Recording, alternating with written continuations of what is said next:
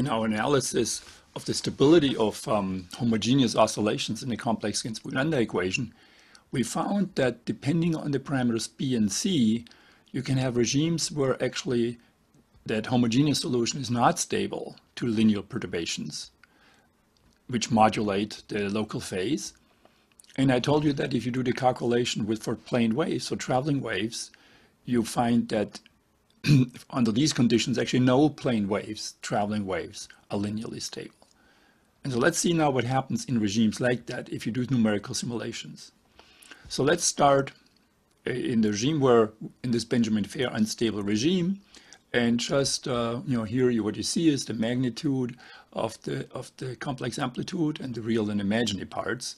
And let's just run it um, and see what happens. So you see I applied a small perturbation, so it's the, the amplitude is not completely constant. The small perturbations, and let's see what happens with those. Um, well, they seem to grow. And now as they grow, you also see that the magnitude starts to be slightly deformed, so to speak. You get modulations in the magnitude. And um, well, maybe the magnitude becomes like a periodic pattern that could be, right? I mean, it, you have an instability for some modulation, and that modulation could lead to a pattern. But you see, actually, it's not a, well, there's some modulation, but it just keeps going. So it's now sped up. It keeps going. These, these blips here, they move to the right, they move to the left, they merge, they uh, split, uh, not split, they merge and new ones form. And so when you now look at that in a space-time diagram, so time is going up spaces. This way. So this initial phase was done here where the um, we just had a constant amplitude with small perturbations and these perturbations grew and you, now you see these modulations here. And these modulations then move around new new peaks show up peaks merge and that just seems to be going on for a long time. And in fact it seems to go forever if you do long simulations. What's important to note is that the magnitude is always between like 0.85 and 1.05 or something like that. So meaning it's always bounded away from zero. And so we just have waves that are modulated or uh, oscillations are modulated, somewhat modulated, and then modulation just never becomes uh, steady. It just keeps uh, evolving chaotically. So is that all you can get? Well, no, there's actually more regimes that you can get. So if you if you look at the Chate, Hugues Chate had uh, published a paper a while back uh, where he analyzed that in, in, quite some detail. And so he uses slightly different parameters. Uh, so we, in our calculations, the Benjamin Feir stability was B times C equals minus one. Um, in his notation, uh, the Benjamin Feir instability is this straight line here. And so the plane wave, the waves or homogeneous oscillations are linearly stable down here, and they're unstable above that straight line. And the simulations that we just saw were right here in this uh, at this point, which he noted or denoted as phase turbulence. So it was a chaotic state or turbulent state, depending on what, how you want to call it. And the action was all in the phase. The amplitude, you know, well, the point that the phase was conserved, there were no slips, the amplitude was always um, away from zero. So what happens if you uh, change the parameter B3 to here? So let's look at that simulation, uh, which he labeled uh, amplitude turbulence. Okay, so um, let's see what we get then. So again, a small perturbation initially, and um, the magnitude is almost constant. And uh, again, you see, okay, the modulations become larger. Now you see them also showing up in the magnitude. Um, so far, the oscillations are all sort of synchronous everywhere. Well, aha, maybe, maybe not. Now actually see here, uh, they're way ahead from there. Um, this jitter, the, the simulation should actually go smoothly. It seems like when, whenever I put the mouse in the window, the, the screen sharing somehow slows things down. So uh, the, the, simulation relatively smooth. And now you see actually that the, the magnitude actually goes down quite large, strongly, goes almost to zero. And so now in this sped up version, you see every so often the magnitude dips down to zero. And of course, when the magnitude of a complex variable is uh, zero, it, the phase of that magnitude of that complex variable is not defined. So those are moments when actually you have a phase slip occurring whenever you have these uh, the magnitude go down to zero. And so the space-time diagram looks like that. Again, we have initially this almost homogeneous state, which again develops modulations. But now you see the modulations become much larger, as you saw up here already.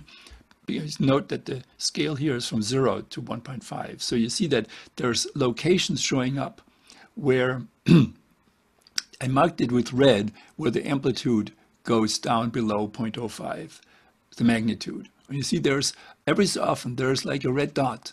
And so that's when you have a phase slip occurring, meaning where the local wave number uh, switches. I mean, you lose one wavelength or you gain a wavelength, one or the other.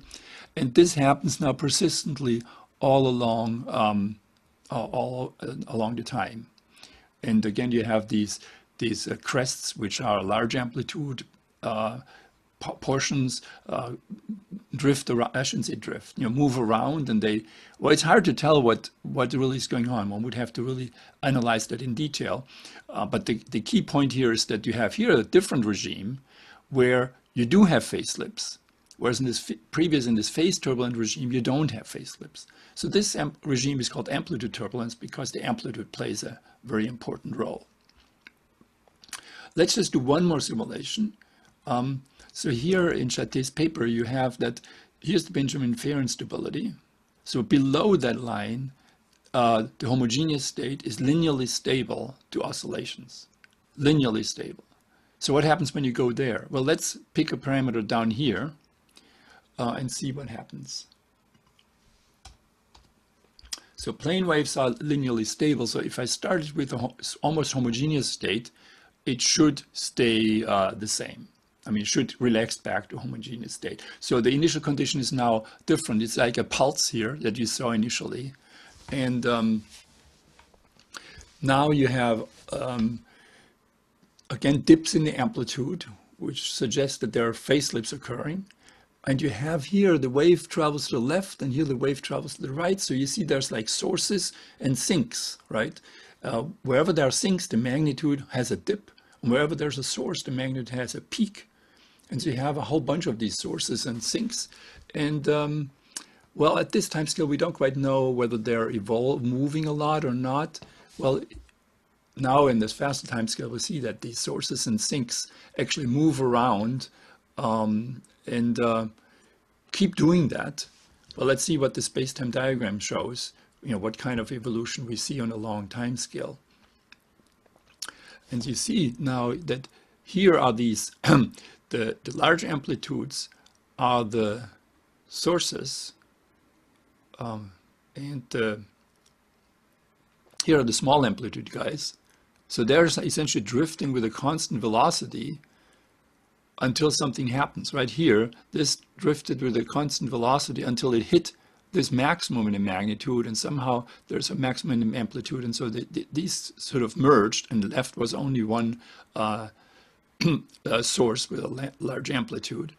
And uh, so this seems to be going on also for a long time. We don't know, I mean, from the simulation, we cannot gauge whether this will persist or whether eventually just get one domain. But um, if you do it long enough, you see that it just keeps going like this, that you have uh, new domains form like here. You have a formation of this um, low amplitude, this dip, and uh, the large amplitude kind of split. And um, that just keeps going on. So there are additional uh, other states that are seen uh, possible in, in the system. We're not going to discuss them in further. I just want to mention that here, uh, finds that you have, depending on the initial conditions, you can either have phase turbulence or amplitude turbulence in, in this regime.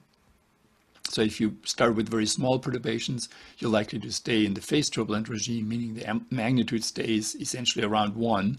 Whereas if you start with uh, large dips in magnitude, then you would get the er, amplitude turbulent regime. So that's in 1D. And you can also write down the Ginzburg-Landau equation in 2D. And we'll look at that behavior in the next session.